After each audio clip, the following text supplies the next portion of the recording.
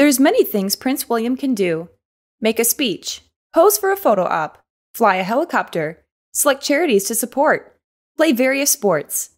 But the king in waiting won't be adding hairstylist to his resume anytime soon. Although, to be fair, it does sound like he has some basic skills. Earlier this week, we interrupt you guys with an extremely adorable revelation. As a true modern dad, he bonded with another dad about the struggles of playing parent turned hairdresser during his visit to Blackpool with wife Catherine. Apparently, the father of three learned the ropes on hairstyling from watching YouTube tutorials, but he still has trouble mastering one basic do with his beloved daughter. Never try to do a ponytail, he said. Nightmare. And I mean, that feels a bit extreme, but whatever he says, I guess. Kate even teased him at the time. Have you tried to do a plait, braid? It's the weaving, really hard. We can already picture it. He's putting a scrunchie in her hair with intense focus in the kitchen in the morning before school starts. Whether or not he's graduated to like pigtails or braids has yet to be revealed. With that in mind, it sounds like Prince William was actually being a little modest when he talked about doing his daughter's hair. In reality, he has a bit of experience with the styling life, however tangential. Apparently, he also helped with his wife's hair at their 2011 wedding celebrations after the ceremony, when the princess's locks had to be let down from their half up, half down look. During the Platinum Jubilee pageant, a footage appeared to show the Prince of Wales leaning over to speak to his daughter amid the hubbub of the event.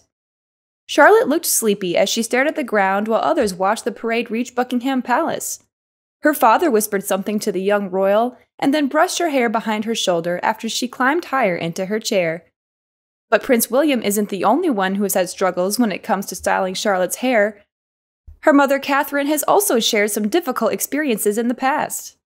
When the family of five looked immaculate as they stepped out for the walk through Sandringham to the service, it seems that the preparations might not have gone without a hitch, as Princess Charlotte was sporting a hairstyle that is not a favorite of Kate. While the royal couple visited the English region of Cumbria, Kate told a little girl offering her flowers, pointing out to her two French braids, I love your plaits. She then spilled that she attempted giving her middle child a similar look. I tried to do a plait on Charlotte this morning, and it didn't really work very well, she added with a smile. Currently, the young royal's hair is a gorgeous blonde color that looks like it has natural highlights running through it, and it is often seen half up, half down, or in adorable plaits. Charlotte is her mother's daughter, after all, so it is suggested she might take a leaf out of Kate's book when it comes to her hair. The Princess of Wales has luscious brunette tresses, which cascade over her shoulders and down her back. Her hair is often worn straight, in bouncy waves, tucked behind her ears, or pulled into a loose chignon.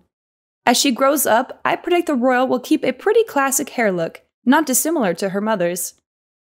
Shared in an archive footage, fans identified a repeated gesture by the princess where she adjusts her hair, which has been compared to a similar move performed by Kate over her time in the public eye.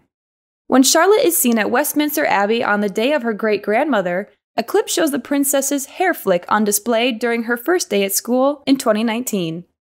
This is not the first time that fans have spotted similarities between the princess and her family members. Social media clips highlighting moments where the royal has taken cues from her mother and great grandmother at public events have been widely shared.